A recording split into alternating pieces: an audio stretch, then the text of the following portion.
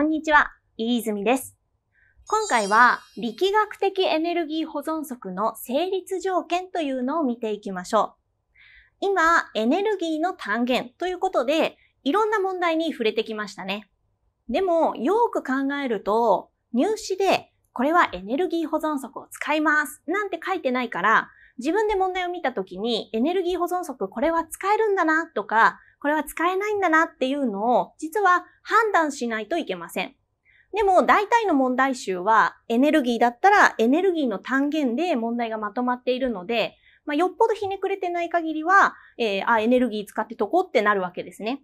そうすると、実際、え、入試問題、もしくは過去問とか、あとは模試になった時に、これ何使うんだろうってその場でわかんなくて、で、えー、回答を見た時に、あ、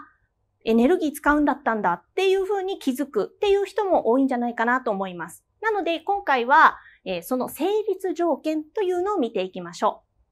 う。え、エネルギー保存則の成立条件を理解し、え、問題を解くときにあ、これは使える、使えないというのを確認するようにしましょう。そして、今回のキーワードとして、保存力というのがあります。皆さん、今、保存力って聞かれて、え、何のことかなって思う人が結構多いんじゃないかなと思います。なので、そう思った人は必ず動画で確認しましょ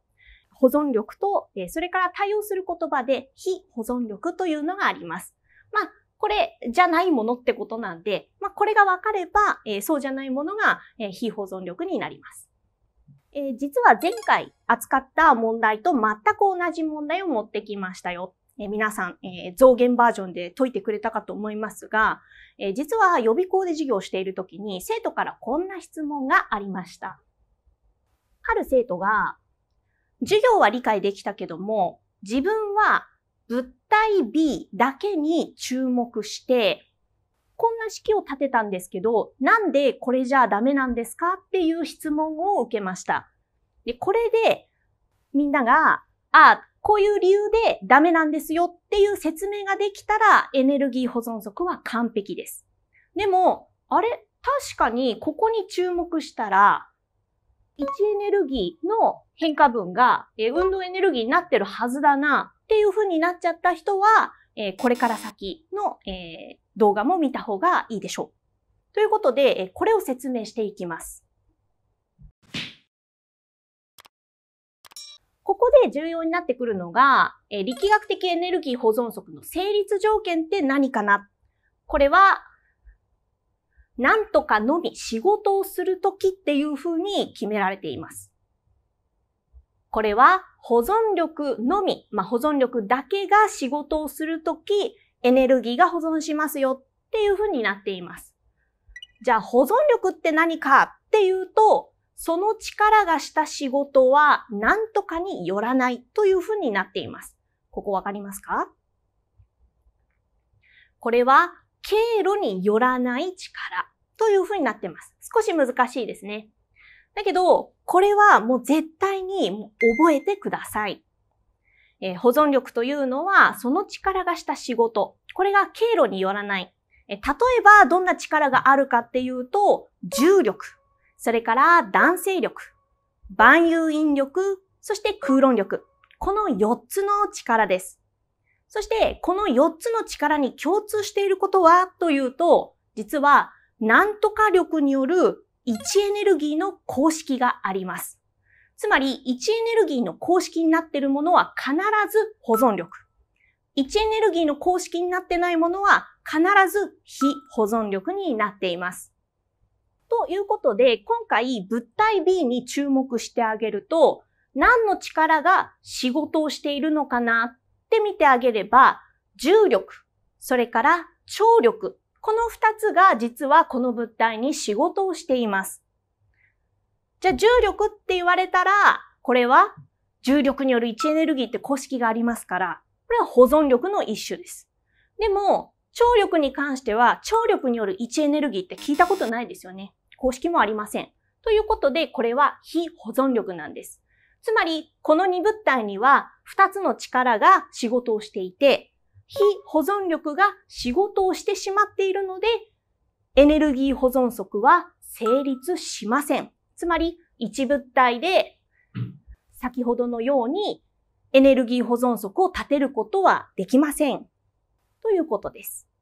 じゃあ、なんで二物体だったら成立するんだろうっていうふうに疑問が、浮かんでくるかと思います。では、それを黒板で説明しますね。はい。では、説明をしていきます。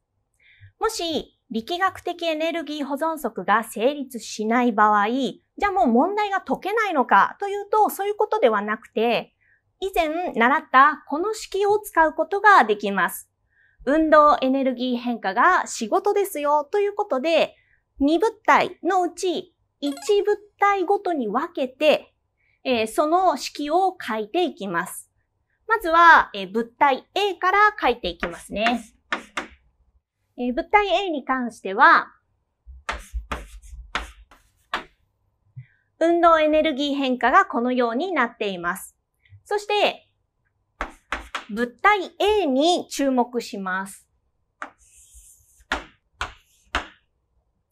そうすると、この物体 A に力を及ぼしているのは、重力、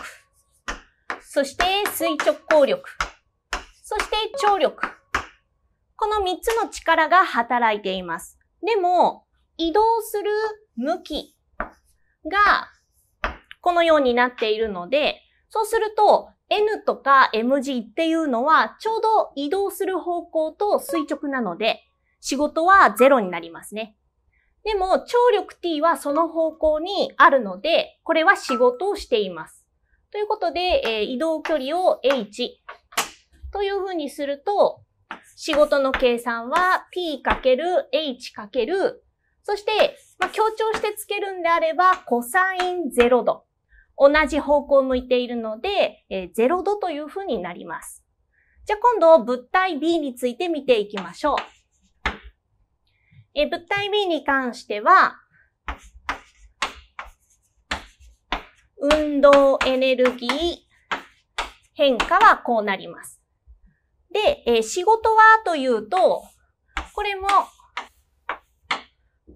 受ける力を考えてあげると mg そして張力 t。で、移動する距離は下向きに h となります。そうすると、まず重力がした仕事は mg× h× コサイン0度。そして張力がした仕事はっていうと t× h× コサイン180度になります。というふうに、運動エネルギー変化が仕事というのを物体 A と物体 B について並べてあげて、これを足します。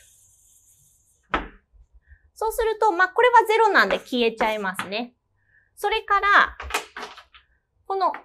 コサイン0っていうのは1を表していて、コサイン180っていうのはマイナス1を表していますから、結局のところ、ここも消えちゃいます。ということで残ったのは、2分の 1mv 事乗足す2分の 1mv 乗が mgh というふうになりますね。これで2物体合わせて考えてあげれば、運動エネルギーが増加した分、それは位置エネルギーが減少した分だっていうふうなつ合わせてのエネルギー保存則を書くことができます。なので、一物体にだけ注目して、エネルギー保存則を書くことはできないけれど、二物体まとめて考えてあげれば保存するのは、こことここが消えてくれるからですね。エネルギー保存則の成立条件、いかがでしたでしょうか？